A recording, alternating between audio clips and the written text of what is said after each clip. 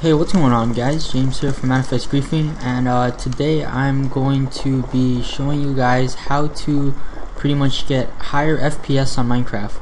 Um, so I run a pretty bad computer. I'm on a laptop and um, it's not the best computer, it's a Dell and like I said, it's not the best computer in the world. So what um, what I do to get higher FPS, right now I'm at about 23 frames and I'm on a server with a ton of people.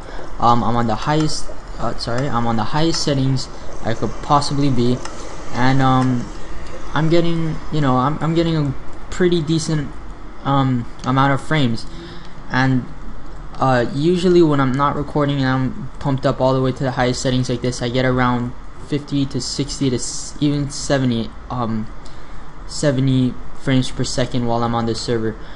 Um, so I'm going to be showing you guys how to pretty much get those kind of frame rates. And what I do is pretty much just one thing and that's just defrag my hard drive. And this is the only possible way that I found that actually works and that actually makes a significant amount of um, makes a significant uh, difference to my frame rate so basically, I'm using Auslogics disk defrag. Um, I believe you have to pay for this, but you can get it for free.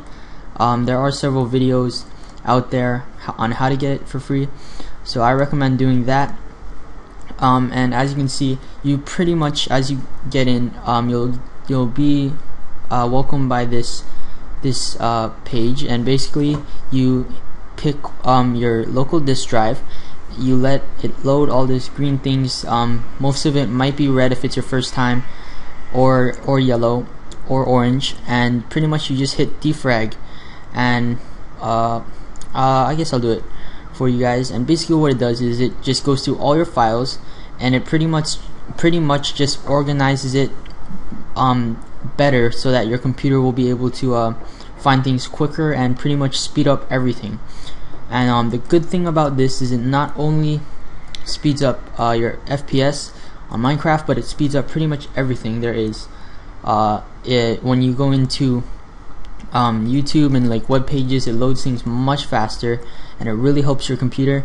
Um, when you're rendering videos, it helps you out. When you're on Skype or doing whatever else you have, it um, makes everything faster. So as you can see, you can see how much files it analyzes, how much it defrags, and how much it fragments, and all these other random crap that I even know what it does, but still it helps, and that's all that matters.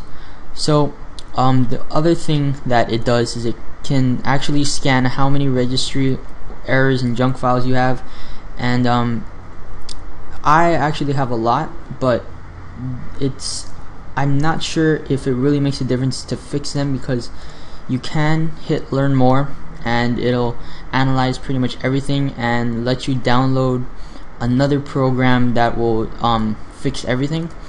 But I don't do that because I tried it once and all it does is make you pay for it and pretty much um, all it does is fix 15 problems and then after that you'll have to pay for it.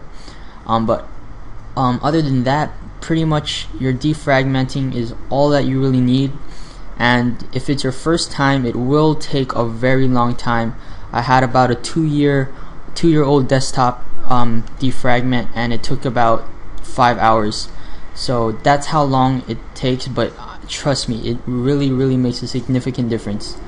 Um, this is about my third or fourth time doing this and it's going decently fast. Um, you will want to defrag at least once a month um, you can do it more than that and it'll just really help it and make sure your your computer is in tip-top shape and pretty much speed up everything.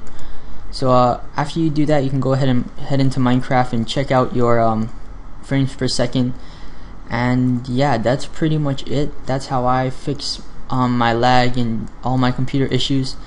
Um, hopefully this helps. If it did be sure to leave me a thumbs up. And yeah this video is part of the WAY movement, a career path in video sponsored by TGN. To learn more, visit tgn.tv.